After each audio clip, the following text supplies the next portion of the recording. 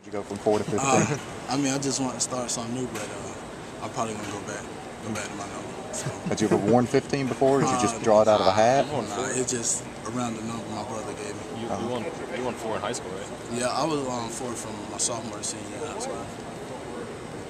Why'd your brother pick 15 for you? I, I guess because he turned 15 this year, so Oh, he, okay. he told me to get 15, but I'll probably go back. Marlin, what's it like? I know you having Rajion with you guys this year. I know he's kind of moved back, and I think that's something you wanted to do. What's what's it like having him back there? Oh, great.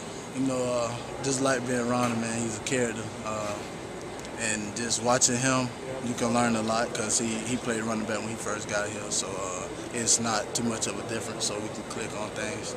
So uh, it's basically the same It's happening him back there the whole time.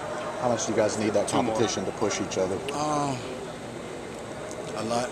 We're going to need each other to push each other to keep going, to keep working and working. So uh, pretty much going competing against each other is going to make us a lot better.